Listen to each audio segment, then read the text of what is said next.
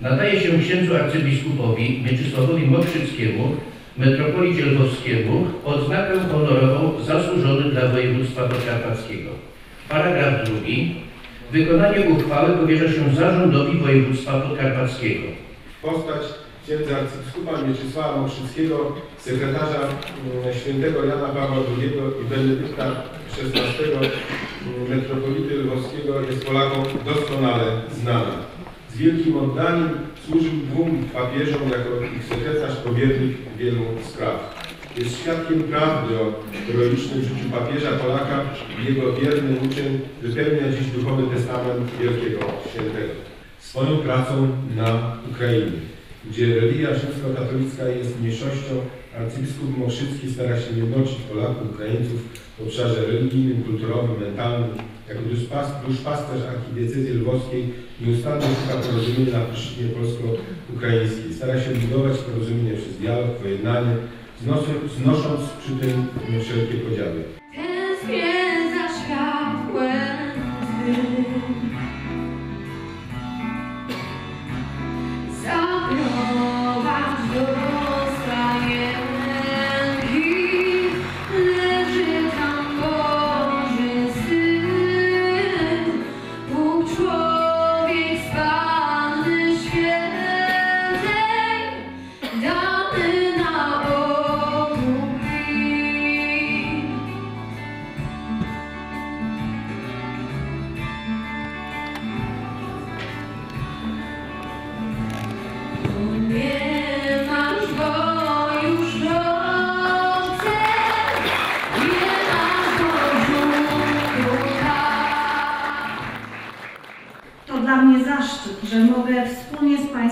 Uczcić wręczenie odznaki honorowej zasłużony dla województwa podkarpackiego Jego Ekscelencji księdza arcybiskupowi Mieczysławowi Mokrzyckiemu.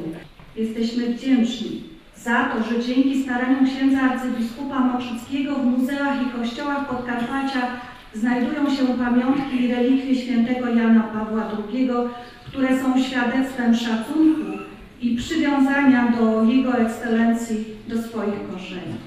Jest mi niezmiernie miło, że w imieniu wszystkich podkarpackich parlamentarzystów. Chcemy przekazać Jego Ekscelencji arcybiskupowi wyrazy naprawdę uznania za ten trud, który włożył arcybiskup właśnie w to, co dzieje się na Ukrainie, że walczy ksiądz arcybiskup o polskość, walczy o polskie kościoły,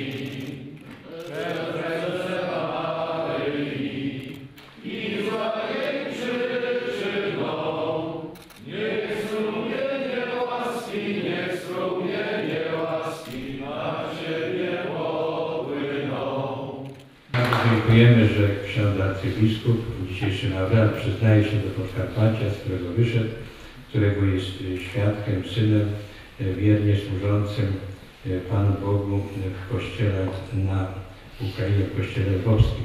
Ja cieszę się bardzo, że zostałem wyróżniony y, tym odznaczeniem zasłużonego dla Podkarpacia, bo to jest dla mnie taki dowód, że moi rodacy tutaj, którzy mieszkają w Polsce, a także można powiedzieć najbardziej bliscy, pamiętają o mnie.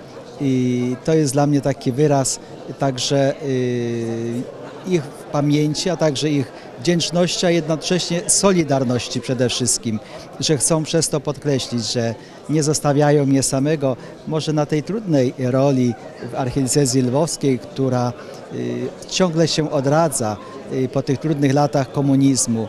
I przez dzisiejszą y, uroczystość, wyróżnienie chcą jak gdyby także zaapelo, zaapelować do innych, że jest ktoś, y, jest nasz rodak na tamtych terenach, że trzeba go dalej wesprzeć, a także, a przede wszystkim y, tych wiernych, którym, on, którym ja służę, I, a przede wszystkim są to nasi rodacy, są to Polacy.